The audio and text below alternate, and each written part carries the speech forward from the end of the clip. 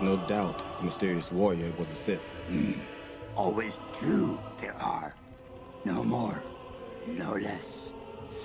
A master and an apprentice. But which was destroyed? The master or the apprentice?